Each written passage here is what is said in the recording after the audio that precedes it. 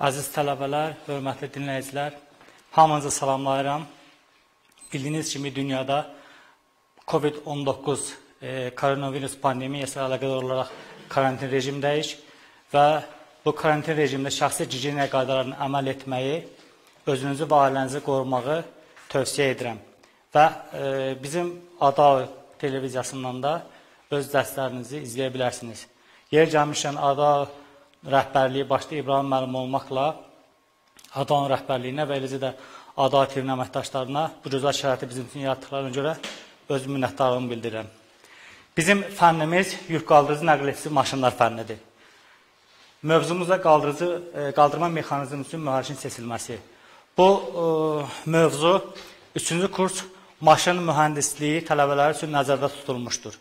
Və həmçinin bu yük qaldırıcı nəql edici maşınlar fənnini aqromühəndisliyin tələbələri, meliorasiyanın tələbələri, e, yerüstü nəqliyyat vasitələrinin tələbələri keçdilər üçün onlar üçün də bu mövzudan bəhrələnə bilərlər. Mövzuya başlamamışdan əvvəl istəyərdim ki, e, əvvəl keçdilərimizi qısa təşkil eləyək. Deməli, yük qaldırıcı nəqliyyat maşınlar fənni nədir? Yük qaldırıcı nəqliyyat maşınlar fənni xalq təsərrüfatında yüklərin daşınması, boşaldılması, nəql etdirilməsində istifadə olunan bir fəndir. Yüklərin daşınması yüklərin daşınması e, demək olar ki, nəql etdirilməsi, boşaldılması vaxt tələb edən sahədir. Ona görə də bu yük qalıcı nəql edici maşınlarda kranların rolu böyükdür və bu fən ona görə də öz e, müvəffəqiyyətlə təşəkkür tapmışdır. E, əbəs yerə yük qaldırıcı nəql edici maşınlar fənnini istehsalatın əli adlandırmırlar. 1872-ci ildə Rus e, professoru, alim Vişneqradskinin e, dəstəyi hesabına bu fənn təşəkkül tapmışdır.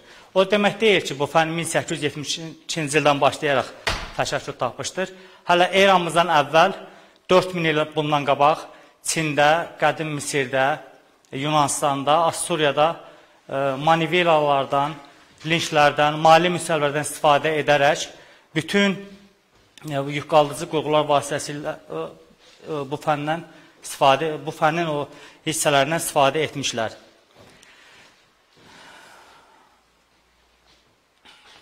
Sonra qoy 1900-cü ildən Rusiyada kranlar istehsal edilməyə başlamışdır. 1827-ci ildən ilk stasionar kran 1880-ci ildən e, paravoz e, siyasət edilməyə başlamışdır. 1895-ci ildən isə ilk daxili yanma mühərrikli kranlar siyasət edilməyə başlamışdır. Mövzuya e, sonra yük qaldırıcı nəqliyyatçı maşınlar əsasən üç qrupa bölünür. Yük qaldırıcılar, kranlar və qaldırma mexanizmləri. Kranlara aiddir körpülü, çatılı kranlar, dəmiryol kranları, üzən, e, vertolyot kran və s. kranlar kranlar qrupuna aiddir. Qaldırıcılara aiddir e, şaxtalar, eskalatorlar, funikulyorlar və s. qaldırıcılara aiddir. Qaldırma biz isə biz qaldırma qaldırma mexanizmindən danışacağıq. Qaldırma mexanizmi nədir? Qaldırma mexanizmi yükləri üfüq və mali istiqamətdə və yaxud da ki, e, müəyyən hündürlükdə yüklərin e, qaldırılması, yerinin dəyişdirilməsi üçün istifadə olunan mexanizmlərə qaldırma mexanizmləri deyilir. Qaldırma mexanizmləri aiddir buzurqatlar, damkratlar, e, bir resli arabacıqlar, sadə e, telfer, e, sadə əl, e, əl talları və yaxud telferlər. Bunlar qaldırma mexanizminə aid olan e, avadanlıqlardır. Əvvəlcə biz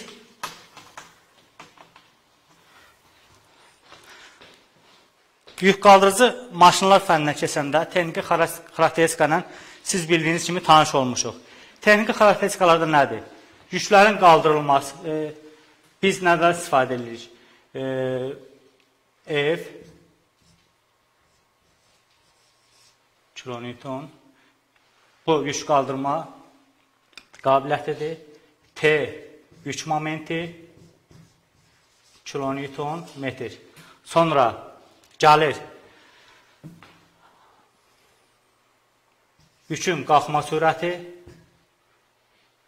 Metr bölünmüş saniyə.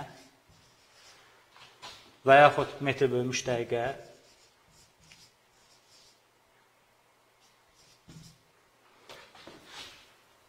Daha sonra arabacığın sürəti və arabacıq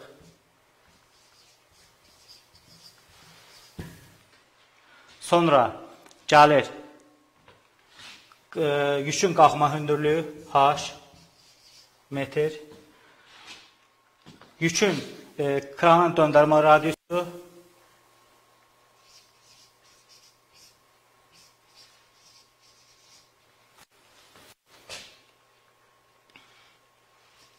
Məsəl üçün qabartı ölçüləri, e,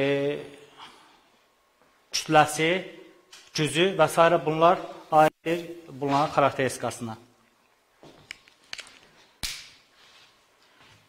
Biz bugünkü mövzumuzda plana keçək.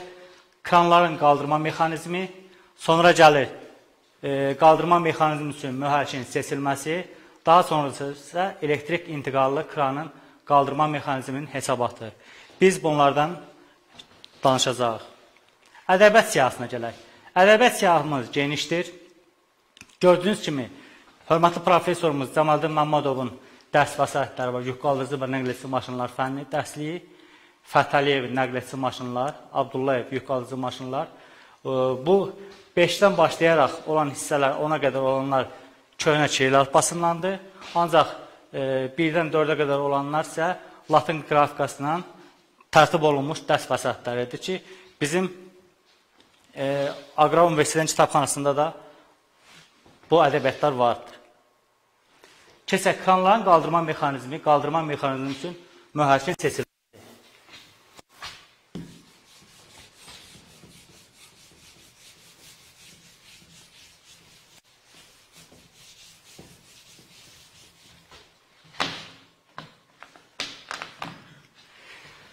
Biz dedik ki, qaldırma mexanizmi yüklərin e, maili və üfüqi istiqamətdə qaldırılması, yüklərin müəyyən e, məsafədə qaldırmaqdan, yerini dəyişməkdən ötürü istifadə olunan mexanizmdir.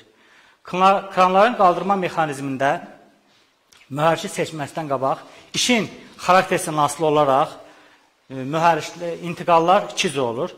Elektrik və maşın intiqalları. Maşın intiqallarına aiddir buxar, elektrik, e, e, pnevmatik, hidravlik, bunlar olur maşın intiqallı e, mühərriklər. Mühərriklər özləri də iki cür olurlar. Sabit cərəyanla işləyən mühərriklər və elektrik cərəyanla işləyən mühərriklər. Sabit cərəyanla işləyən mühərriklər əsasən kənd təsərrüfat maşınlarında, e, qoşqularda, taya vuranlarda istifadə olunur. Bunlar sabit cərəyanla işləyir. Dəyişən cərəyanla işləyən mühərriklər isə əsasən biz istifadə e, biz e, şahid oluruq, müşahidə edirik. İstehsalat müəssisələrində, emalatxanalarda isə dəyişən cərəyanla işləyən mühərriklərdən istifadə olunur. Sabit cərəyanla işləyən mühərriklər əsasən e, onlar daha çox geniş istifadə olunur. Sonra sabit cərəyanla işləyənlər e, bax gördüyünüz kimi D ümumi istehsal tipi tipli 2P, dəyişən cərəyanlar isə MTF, MTH, EH, MTKF, MTKH kimi e, markalarına aiddir. Asinxron 4A, 4A, C, 4AP isə az güc təyin olunan e, işlərdə bu mühərriklərdən istifadə olunur. Biz əvvəlcə barabanın valındakı statik momenti təyin edək. Bildiyiniz kimi, biz e, sizlərlə dərs vaxtı sizlərlə işləyirdik, hərənizə variant verdik, e, siz işləyirdiniz. Eləliklə biz müəyyən bir məsələləri e, həll eləyirdik. İndi isə mən sizin üçün vaxt getməsində bir variant işləmişəm və o variant vasitəsilə sizə həmin o e, izah elə-elə hissələri başa salacağam. Bu qaldırıcı mexanizmin hissələridir. Qaldırıcı mexanizmin hissələri aiddir. 1 olan 2 mufta, 3 tormoz, 4 reduktor, 5 baraban, 6 askı, 7 blok və blokla askını birləşdirən kanatdan ibarətdir. Bu qaldırıcı mexanizmin hissələridir. Bunlar nədir? Elektrik mühərriki elektrodinamiki çevirici olub elektrik enerjiyə çevirir və bunun adı mühərrik e, işə başlayır. Bu olur bizim elektrik mühərrikimiz. Mufta. Mufta bütün oxlar boyu e, hər hansı bir hissəni hərəkəti özündə tutur və ötürü olan birləşdirici qurğudur. Sonra gəlir üçüncü olan tormoz. Tormoz nədir? Tormoz müəyyən bir yükü saxlamaq, e, e, endirmək, saxlayanda və yaxud da döndürəndə sürəti azaltmaqdan və ya tamamilə dayandırmaqdan ötürü tormozdan istifadə olunur. Sonra gəlir reduktor. Reduktor nədir?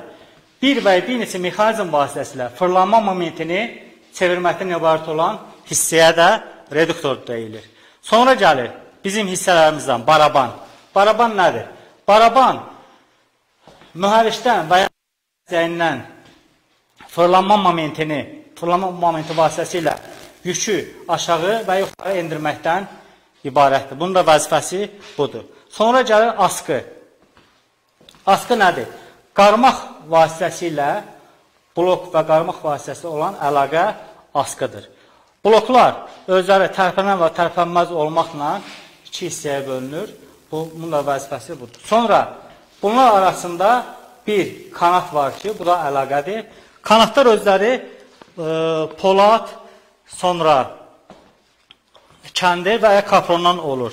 Ancaq e, istehsalatda ən çox biz e, polad kanatlardan istifadə edirik.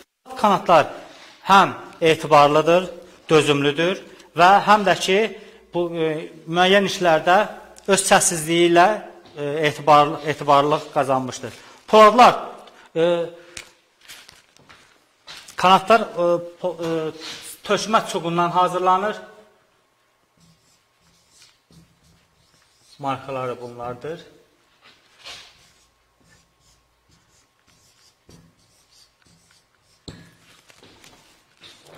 İndi keçək bizim riyazi hesabatlarımıza nəzəriyyə. Biz deməli birinci barabanın valındakı statik momenti təyin edək. Bu barabanın valındakı statik momenti təyin edək. Necə təyin edilir? Necə təyin edirik? Həmən düsturu yazaq.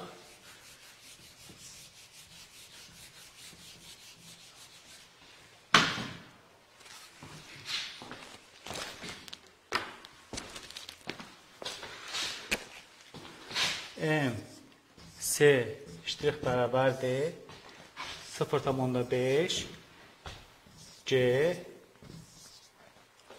C0 D B bölünmüş M eta N. Bildiyimiz kimi bu C sərbəst düşmə təcilidir. Qiyməti 9081 metr bölünmüş saniye. C0 bərabərdir C üstəcələ C yük götürən orqan. C yükün qalxma qabiliyyəti, yükün ağırlıq qabiliyyəti, C e, da yük götürən orqanın kütləsidir. C'miz 6000 kiloqram, götürürük. C. Güc tutucu orqan isə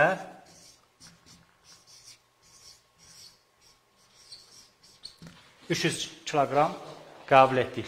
DB barabanın diametridir.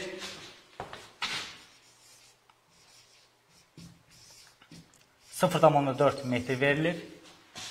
M parisibatın ötürmə ədədidir. M-in də qiyməti yazılır. M parisibatın ötürmə ədədidir. M də bərabərdir Z bölünmüş ZB. Bu nədir? Z yük asılan qolların sayıdır. Barabanda yük asılan qolların sayı burada 6-dır. ZB isə barabana dolanan qolların sayıdır. Bu da 2-dir.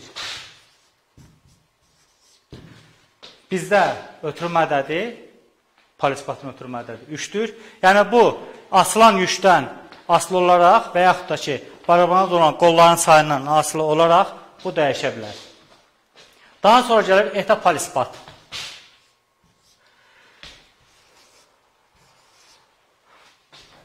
Bu da polispatın faydalı iş əmsalıdır. Biz eta polispatı götürmüşük 0,99. Bu hardan alınıb?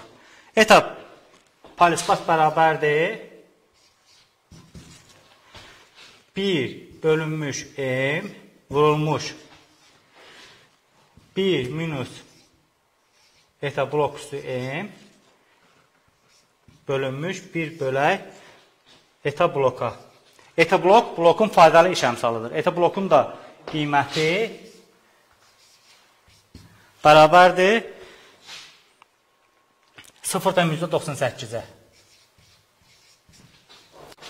Buradan da qiyməti yerinə qoyuruq. M-in qiyməti 3-dür.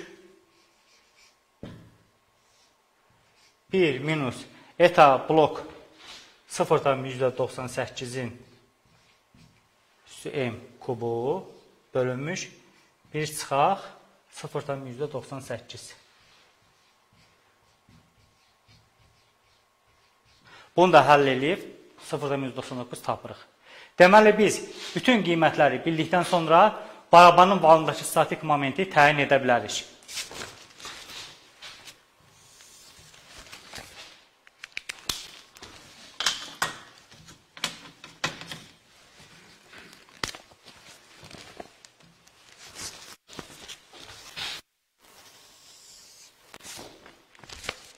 Demək evimiz oldu 3 vurulmuş. Etap palisbatımız oldu 0,99. Sonra 0,5 vuraq 9,81 vurulmuş. C0-mızın qiyməti də C plus C yük götürücü orqan. O da 6000 plus 300. Sonra barabanın da diametri belədir 0 tam vurulmuş 0,4. O da bərabərdir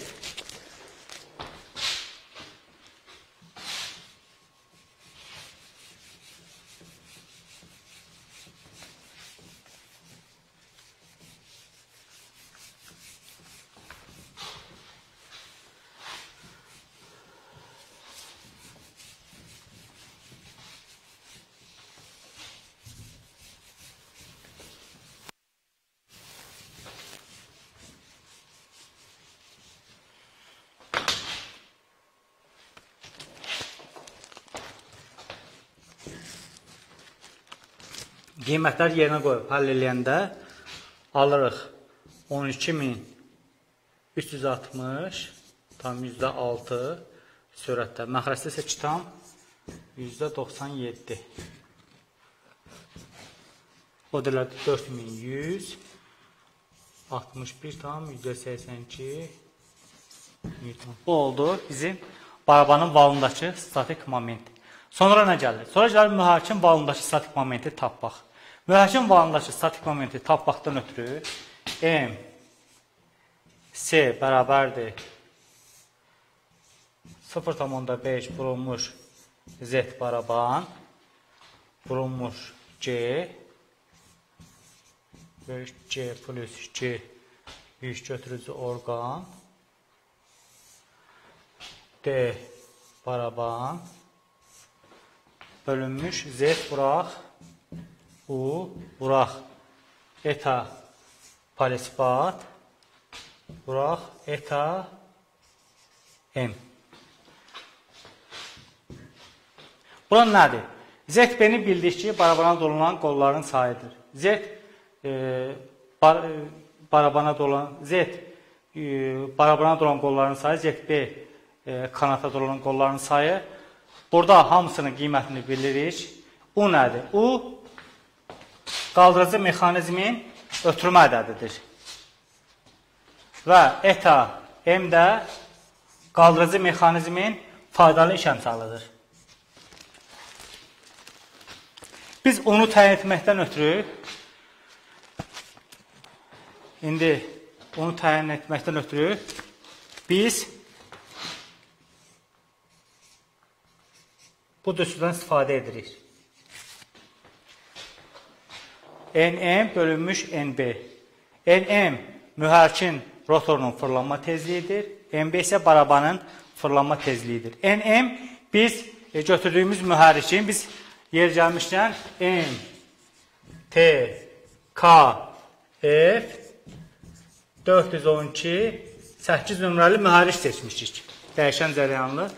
Bax bu mühərrik seçmişik və bu həmin o əlavə 2 cədvəldən mühərrikin rotorunun fırlanma tezliyi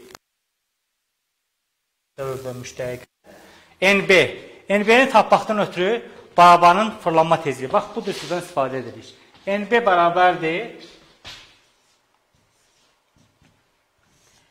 N vurulmuş V yük bölünmüş pi dB-yə.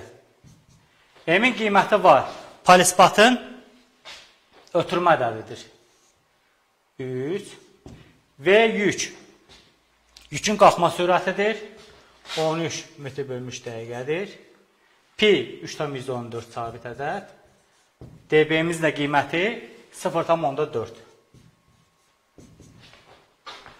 Buradan NB-ni tapırıq. Bu da eləyir 39 bölünmüş 1 tam mində 256 31 tam yüzdə 5 dövr bölmüş dəqiqə.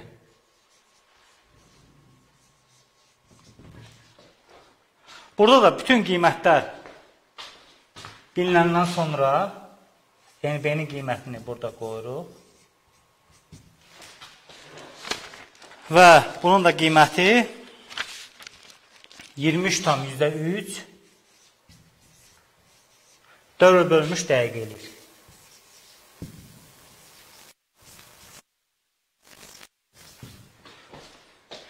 Biz burada da bütün qiymətləri tapandan sonra, hə, burada da eta M qaldırıcı mexanizmin faydalı iş əmsalıdır.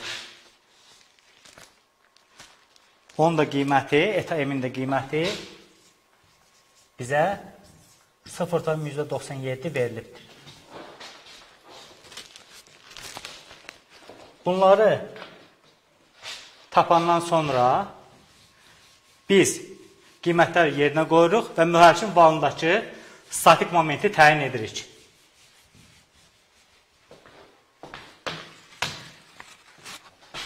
Demək, elədik. 0,5 vurulmuş Z baraban barabana dolanan qolların sayı 2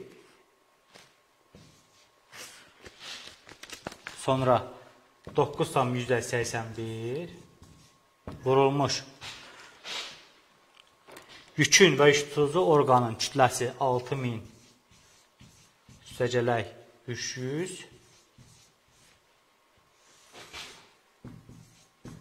0,4 barabanın diametri Z e, yükçü asılan qolların sayı 6 vurulmuş. Onu biz tapdıq 23 tam %3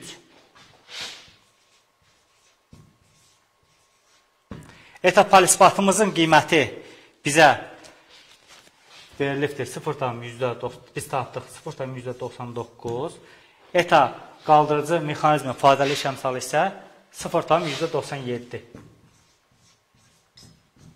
Bunları da yerinə qoyub həll eləyəndə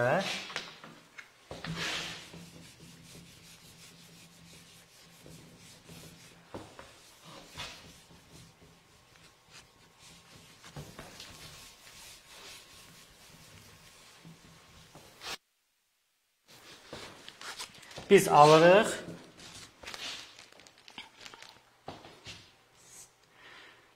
Yirmi dört min 721 tamında 2 bölünmüş 132 tam %69. O da bərabərdir 186 tam %81. %31 Newton.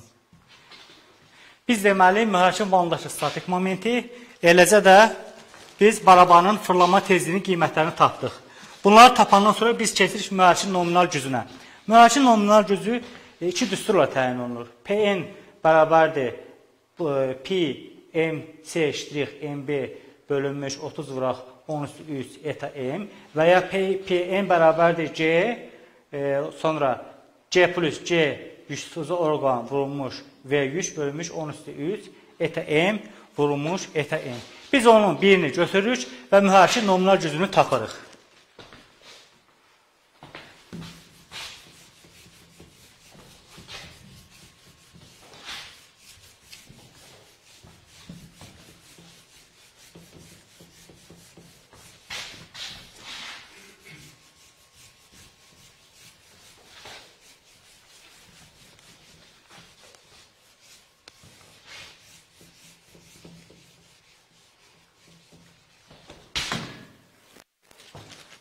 Biz MC-nin qiymətini, MC ştrixin qiymətini tapdıq. 4161 tam %82. Sonra tapdıq MC mühərrikin balındakı statik moment. Onu tapdıq biz 186 tam %31 Newton. Sonra Barabanın fırlanma tezliyi tapdıq. N B bərabərdir.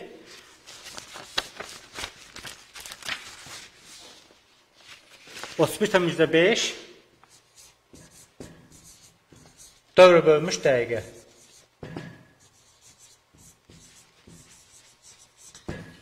İndi keçirik müəşir nominal gücü. Biz birini götürək və müəşir nominal gücünü hesablayaq. P-in bərabərdir. P n bərabərdir pi m c ştrix n b bölünmüş 30 vuraq 10 üstü 3 eta m bərabərdir.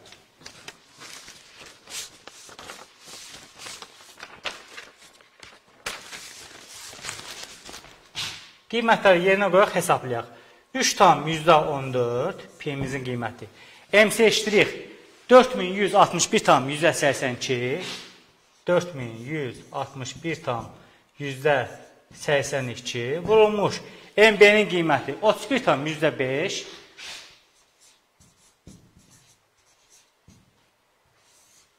Sonra 30 buraq 10 üstü 3 buraq qaldırıcı mexanizmin faydalı iş əmsalı. ETA M-in də qiyməti 0,97.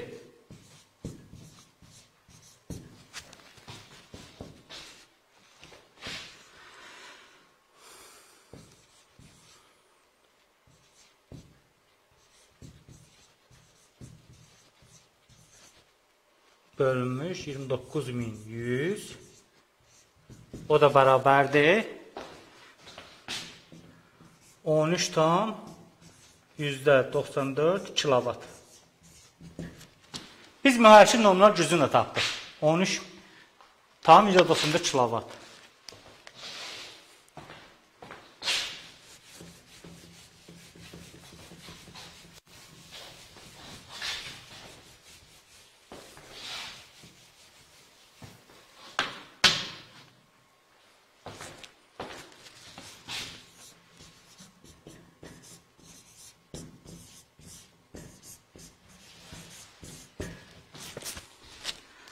Sonra gəlir. Bu şəkildə isə sexlərdə müəyyən müxtəlif qaldırıcı mexanizmlər vasitəsilə yükün qaldırılması göstərilmişdir. Sonra gəlir ekvivalent moment. ekvivalent momenti tapmaqdan ötürü m-y bərabərdir. Kök altda m1-in kvadratı t1 plus m2-nin kvadratı t2 plus m3-ün kvadratı t3 bölünmüş t1 sürə t2 sürə t3. Bunu hesablayaq. my bərabərdir kök altda m1-in kvadratı t1 plus m2-nin kvadratı t2 plus m3-ün kvadratı t3 bölünmüş t1 sözü t2 sözü t3-ə.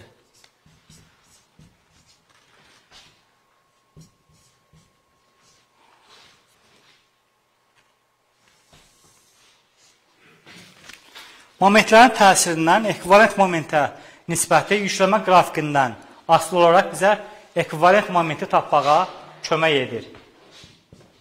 Bunlar nədir? Deməli, M1, M2, M3 dedik momentlərin təsirindən T1, T2, T3 isə vaxtdır. Yük qaldırıcı maşınlarda T bərabərdir 1 5 saniyə götürülür. Sonra M1, M2, M3 bunların qiymətini biz hesablayırıq. M1 nəyə bərabərdir? M1 bərabərdir.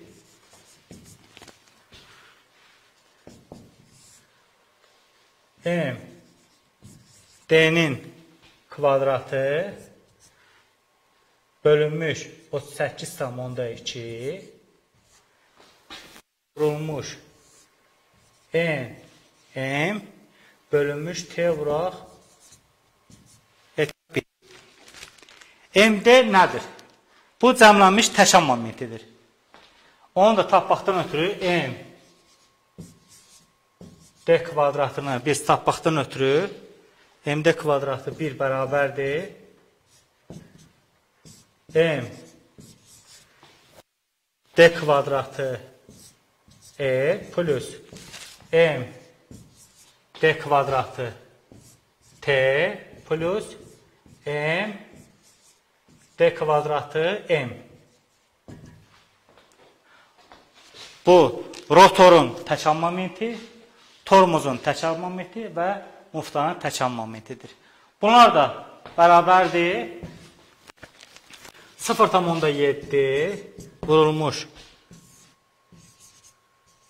CB DB-nin kvadratı bölünmüş 4-ə. CB nədir? Barabanın kütləsidir. CB barabanın kütləsidir. Verilir ki, bizə CB bərabərdir 80 Newton. O da təxmini bərabər eləyir 8 kiloqrama. Qiymətləri yerinə qoyub hesablayırıq. Bərabərdir 0,7 8 vurulmuş 0,4-ün kvadratı bölünmüş 4. O da bərabər eləyir 0 tam mində 224 kiloqram metr. Biz bunun qiymətini tapandan sonra yuxarıki düsturda yerinə qoyuruq, M1-in qiymətlərini tapırıq.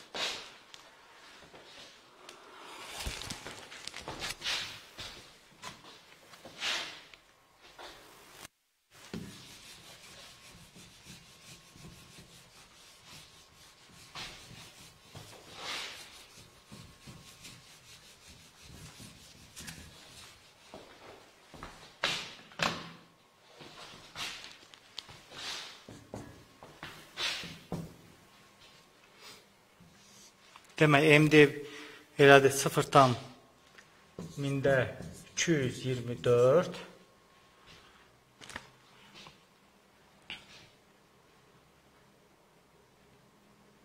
bölünmüş 38 tam onda 2 vurulmuş NM 715-dir. T-ni biz 1-dən 5-ə qədərdir. Biz o götürürük 3. Etamızın da, padarikimizin də qiyməti 0.85. M1-i də hesablayırıq, biz alırıq 1 tam yüzdə 68 kiloqram metr. Bizim M1-imiz tapılır. M2 e, layihə hesablamanında layihə hesablamalarında təhsil M1-i təyin etmək kifayət edir. M2 və M3 isə təyin etməkdən ötürü valların momentlərinin e, əmsalları nəzərə alınır. Burada bir əmsal var pisi, o da bərabər 0.1, 0.15 arasındadır. Bunu da istifadə edirik. M çabraxma momenti bərabərdir. 1 üstəcələk pisi vurulmuş M1. Bunun da qiymətlərini yerinə qoyub hesablayanda biz e, pisini götürürük 0,1. M1-in də qiyməti bizə verib 1,68.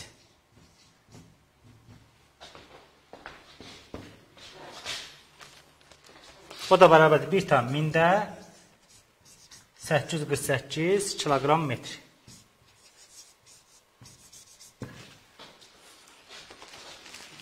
Biz bunları da biləndən sonra qiymətləri yerinə qoyuruq.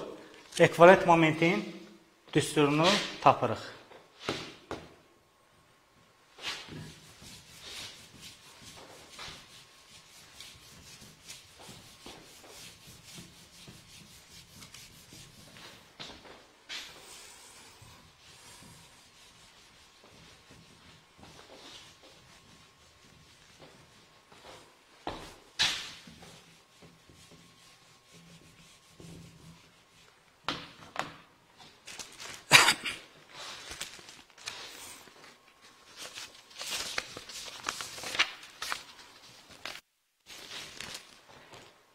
Kök altda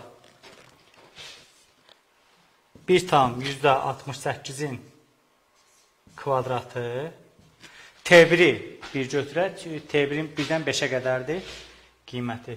1 üstəcələk. M2-nin qiyməti verdi bizə 1 tam 1000-də 848 kvadratı vurulmuş 3 plus M3-ün qiymətdə 1 tam 1000-də 848-in kvadratı vurulmuş 5.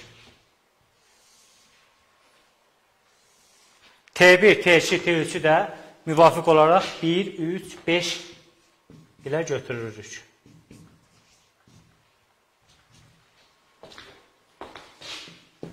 Yerinə qoyub hesablayırıq, alırıq. Kök altda 30 tam %15 bölünmüş 9 Burada var kök altda 3 tam yüzdə 35 o da bizə verir 1 tam yüzdə 83 kilogram metr. Biz deməli ekvivalent momentin qiymətini də tapdıq.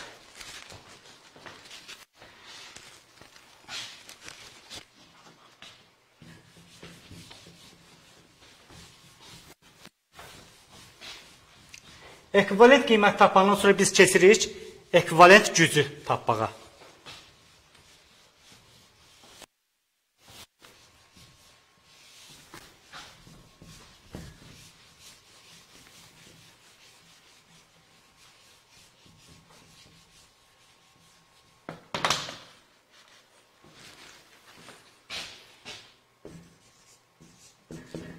Bizə verdi ekvivalent moment 1 tam %100 180 kilogram metr. Ekvivalent gücü tapmaqdan ötürü bu döstürdən istifadə edirik. P Y bərabərdir. Pi vurulmuş M Y N B bölünmüş 30 vuraq 10 üstü 3 eta palispat palispadın faydalı iş əmsalı və qaldırıcı mexanizmin faydalı iş əmsalı. Qiymətləri yerinə qoyuruq. 3 tam %14 e, ekvivalent momentin qiymətini aldıq 1 tam %83. 1 tam %83. Barabanın fırlanma tezliyinin qiyməti bizə verdi 31 tam %5. 30 vurulmuş 10 üstü 3. Eta palisbatın qiyməti 0,97 və eta M e, qaldırıcı mexanizmin faydalı iş əmsalı da 0,98. Biz hesablayanda da axırda 6,26 kilovat qiymət alırıq. Bu da ekvivalent gücün qiyməti P Y bərabərdir 6 tam yüzdə 26 kilovat.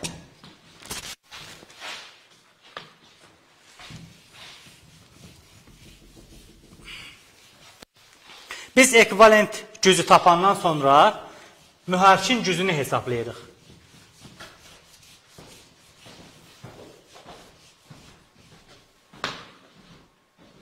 Mühərrikin gücü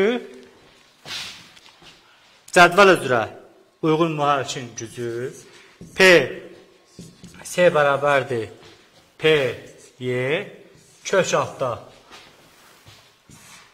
Qoşma müddəti bölünmüş cədvəl üzrə işə qoşma müddətini. O da bərabərdir. P Y-imizin qiyməti verdi bizə 6,26 vurulmuş kök altda İşə qoşma müddəti nədir? İşə qoşma müddəti texniki xarakteristikası da e, 15 25 40 və 60 faiz. Verir. Biz burada götürmüşük 60 faizi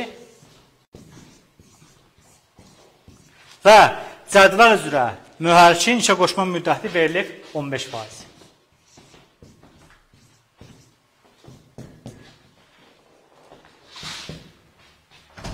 6 tam %26-nı da vururuq 4-ə.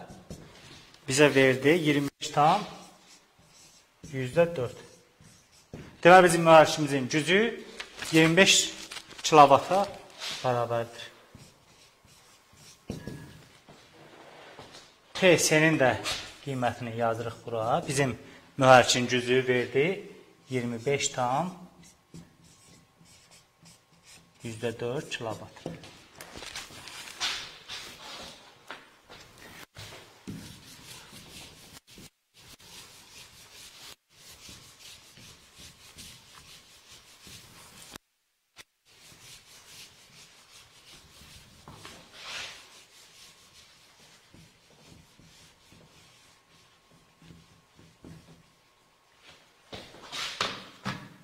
Mühərrikin gücünü tapandan sonra biz tapırıq işə buraxma momenti. İşə buraxma momentini tapmaqdan ötürü bizə lazımdır statik moment, irəliləmə hərəkətində ətələt momenti və fırlanma hərəkətində olan ətələt momenti. Biz bunu birazdan qiymətlərini tapacağıq. Ona kimi biz sürətlənmiş hərəkətdə yol. Burada S bərabərdir V orta vurulmuş T-yə. V ortanı da V orta da bərabərdir. 0,5 vurulmuş V yüz qalxma və üstəcə V0. V0-ımız da 0-a bərabər olduğuna görə bizə bu düsturu verir ki, S bərabərdir V yükün qalxma sürəti vurulmuş T-yə. Yükün qalxma sürəti bizə 13 verilib və biz T-ni də 3 götürmüşük. 3. O da bizə verdi 39. İşə qoşma vaxtı da məlum məsələdir ki, T də bərabərdir 2S bölünmüş və yükün qalxma sürəti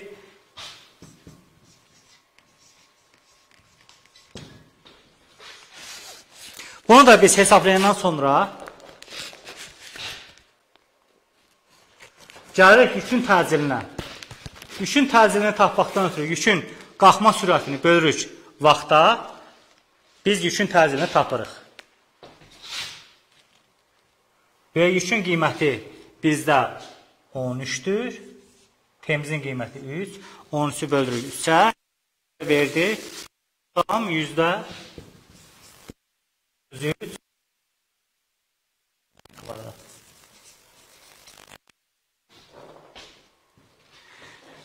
Biz yükün dəyişən sürətlə hərəkətə yükün təcilini də tapdıq. Təcilin də qiymətini yazırıq bura. A bərabərdir. 4 tam yüzdə 33 metr bölmüş saniyənin kvadratı.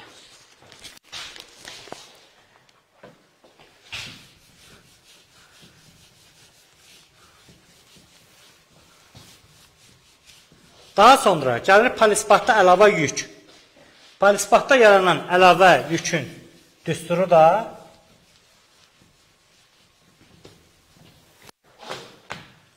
bizə verir ki, polisbatdakı yük bərabərdir. Qiymətlərini birbaşa yerinə qoyub həll eləyəndə 6300 C, C üstəcələk e, C yüksüz orqan 6300 və VY bölmüş T-də biz yükün təzilini verdi. Təzilin qiyməti 4 tam %33. O da elədi 27279 Newton. Biz e, Parisbatda yaranan əlavə yükün qiymətini də tapdıq. Bunu bir yerdən yazaq.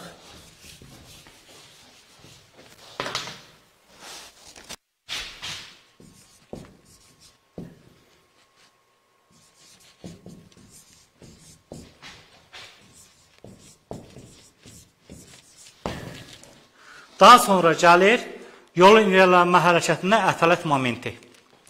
Yolun irəlilənmə hərəkətinin ətalət momentinin düsturunda da M hərəkət bərabərdir.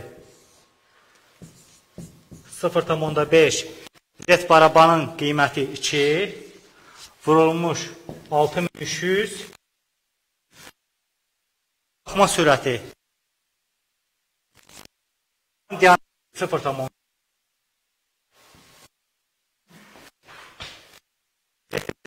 6 3 U ötürmə ədədin qiyməti 23,3 85 parasipatımızın qiyməti. O da M irəlilmə hərəkətinin ətraf momentinin qiymətini biz tapdıq 92 tam %97. Bunu tapandan sonra gəlir fırlanma hissənin ətalət momenti.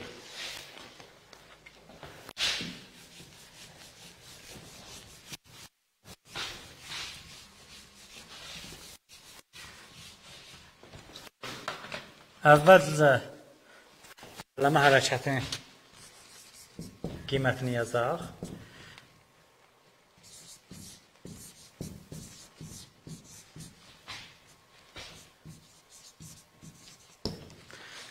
Fırlaman hissənin ətraf momenti də mx bərabərdir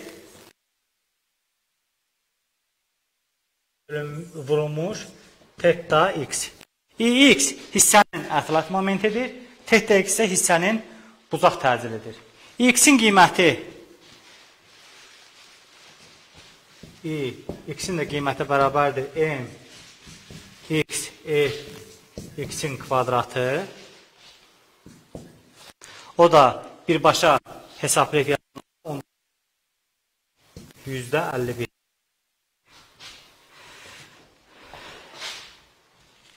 Teta x-də buzaq təcili bərabərdir. Buzaq təcili bərabərdir. Omega bölünmüş T. O da bərabərdir P-in bölünmüş 30T. Onun da qiymətini yerinə qoyub hesablayanda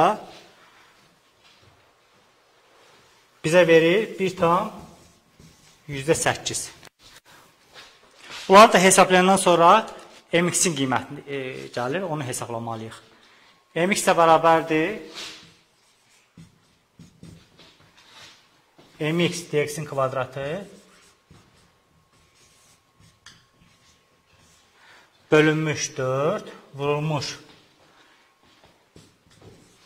Pn bölünmüş 30 T eta x. mx dx mx dx e, deməli bərabərdir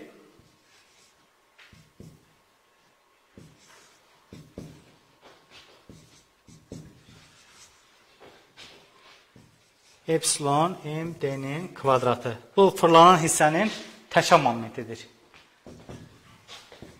Epsilonun qiyməti baraban üçün 0,7. Bu müxtəlifdir.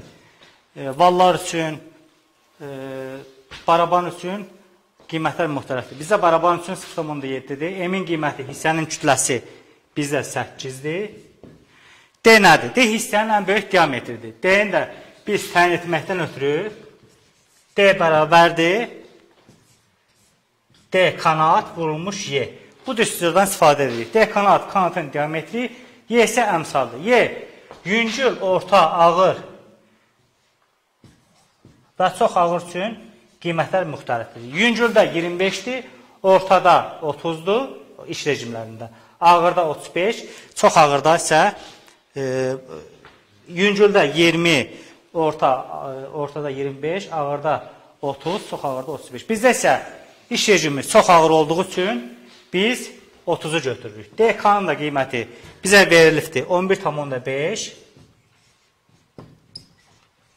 vurulmuş 30-a. O da bərabərdir. Qiyməti də metrə çevrəndə 0.1000-də 345 metr verdi. Biz buradan da qiymətləri yerinə qoyub hesablayırıq.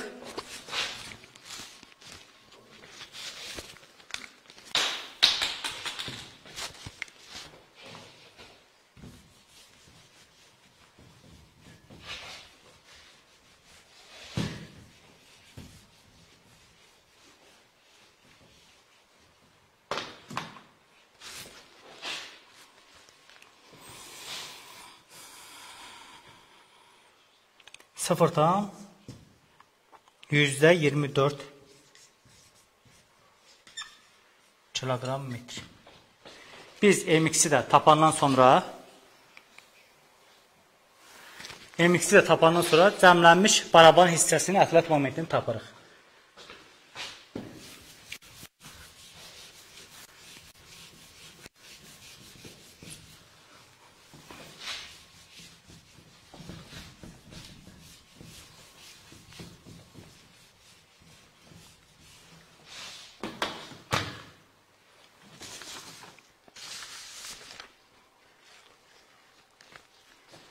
Dedik ki, layihə hesabatlarında M2-yə və M3-ün qiymətlərini hesablanmaq yoxdur. Ona görə də M1 də biz qiymətlərini hesablamışıq. Verifti 1,168 kiloqram metr. Daha sonra isə buradan da benzi e, valdakı hissənin momentini hesaplayandan sonra biz gəlirik işə buraxma momentinin qiymətini hesablamağa. İşə buraxma qiymətinin də qiymətlərini qoyub hesablayırıq. Baxmam bərabərdir. Mən birbaşa qiymətləri yerinə yazım. 2 vurulmuş 6300 bölünmüş zetin qiyməti 6 vurulmuş 9,81 üstə gələk 13 üçün qalxma sürəti bölünmüş zamana 3 vurulmuş. Barabanın diametri 0,4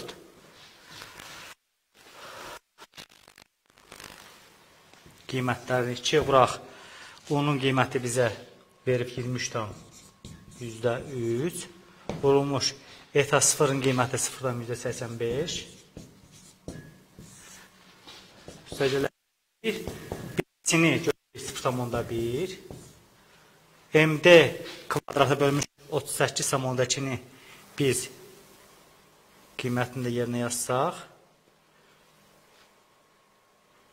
buraq tam 1224 bölünmüş 38 tam onda 2 barabanın mühərrikin barabanın fırlanma tezliyini də bölürük. 3 vuraq 0.85. Bunun da qiymətini biz hesabladıq, aldıq 299 kiloqram metrə.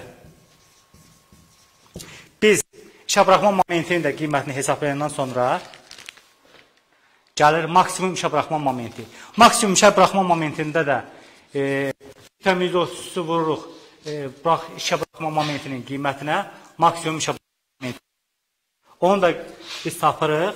N işə buraxma momenti maksimum bərabərdir. 1,33 vuraq 299-a. O da bizə verdi 398 kiloqram metr.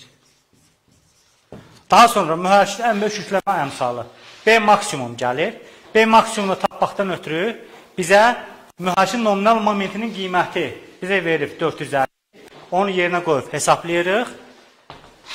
B maksimum bərabərdir. İşə buraxma momentinin qiyməti 398 bölürük 450-yə. O da eləyir 0,9-a. O da kiçik bərabərdir 1-dən. Bizdə daxili yanma mühərrikləri olduğu üçün B maksimum qiyməti də 1-ə ya bərabər olmalıdır, ya da 1-dən kiçik olmalıdır. Bundan sonra biz təcili tapırıq. Təcilin də qiyməti e, yüngül və orta işlərdə 0,18-ə bərabərdir. Ağır işlərdə isə 0,35 metr bölünmüş saniyə kvadratına bərabərdir. Bizdə isə ağır iş rejimi olduğu üçün 0,35 e, metr bölünmüş saniyə kvadratıdır. Daha sonra isə yenə gəlir mühərrikin fırlanma tezliyi biz e, işin əvvəlində hesabladıq. Və yaxud da ki, U bərabərdir U1 vurulmuş U2 vurulmuş U3. Bunlar nədir? Ötürmə ədədlərdir. Reduktorun, dişli çarxın və yaxud da zənzirin ötürməli. Bizdə zəncir olmadığına görə, zəncir əsasən maşın qarmada tətbiq olduğuna görə bizə zəncir yoxdur. Bizə U1 və U2-nin qiymətləri yerinə qoyub hesablayandan sonra həmin o unun da qiymətini biz işin əvvəlində də hesabladıq, onun qiymətini tapdıq. Burada U müxtəlif ola bilər. Ola bilər ki, işin e, gedişatından asılı olaraq e, U3, UN və yaxud da ki, U1, U2 ilə kifayətlənirik. Biz bununla da e, qaldırıcı mexanizm üçün mühakimə seçilməsində istifadə olunan düsturları hesabladıq. Diqqətinizə görə çox sağ olun.